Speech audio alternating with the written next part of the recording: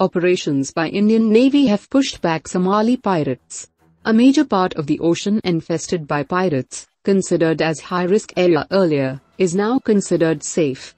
Shipping industry is benefiting extensively due to the persistent operations by the Indian Navy.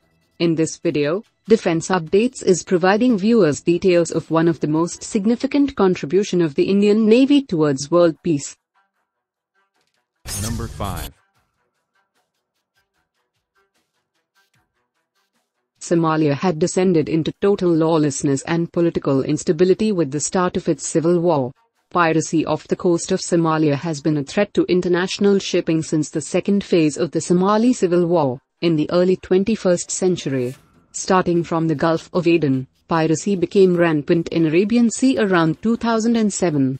As they increased their reach to the East Arabian Sea, the entire west coast including the exclusive economic zone of India, an area of the sea which can only be used by India for economic reasons, was declared a high-risk area. Around the region there were more than 100 documented pirate attacks in 2008 alone, which resulted in more than 40 ships being hijacked. Number 4.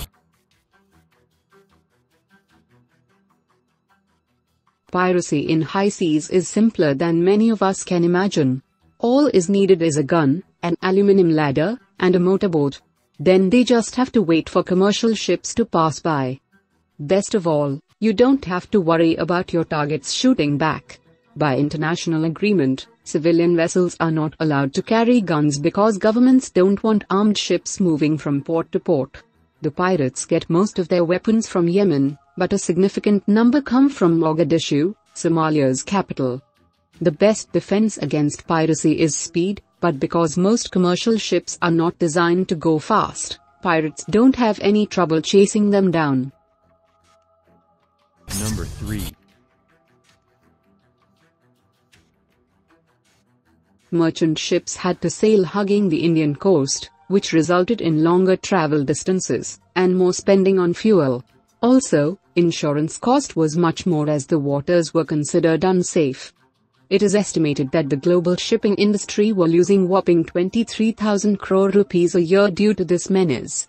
According to Reuters, of the 3,500 captured in this period, around 62 died. The causes of death included suicide and malnutrition, with 25 of the deaths attributed to murder. In some cases, the captives have also reported being tortured. Many seafarers are left traumatized after release. The increasing threat posed by piracy had caused concern in India, since most of its shipping trade routes pass through the Gulf of Aden. Number 2. Indian Navy pressed into action, and about 52 ships were deployed to patrol the waters.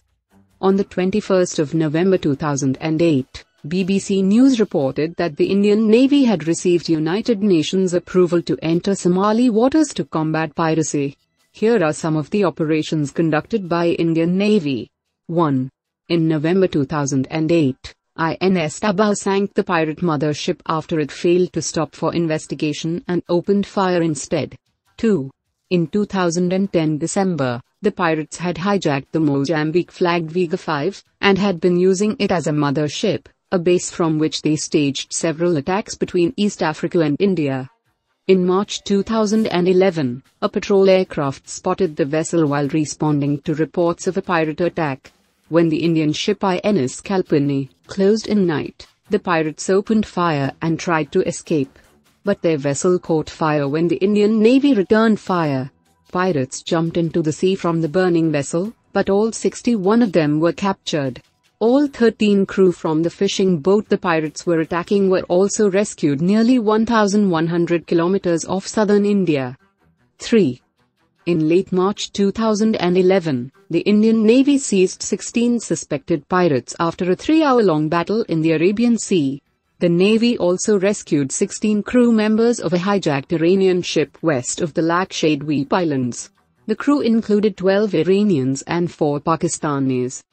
Indian Navy along with other navies are able to contain the threat to a large extent. The Contact Group on Piracy off the coast of Somalia, established in 2009, brings together a diverse but necessary coalition of states, international organizations, the private sector and civil society to fight piracy together in a coordinated manner. After 2012, with situation improving drastically, India sought for a review of the high-risk area marking with it. The international bodies agreed to India's efforts to push back the high-risk area from 78 degrees east longitude to the 65 degrees east longitude.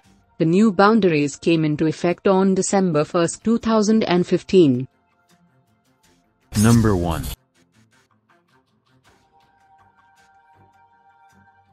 India has been paying special attention to the upgradation of its navy in the last decade. It has invested in quite a significant portion of its military budget for the purpose of developing a blue water navy. A blue water navy is a maritime force capable of operating across the deep waters of open oceans.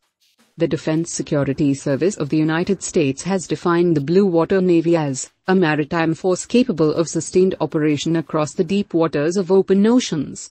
A blue water navy allows a country to project power far from the home country, and usually includes one or more aircraft carriers. The operation against pirates though seems technically easy, but is not so. Pirates prowl about 2 million square miles of the ocean.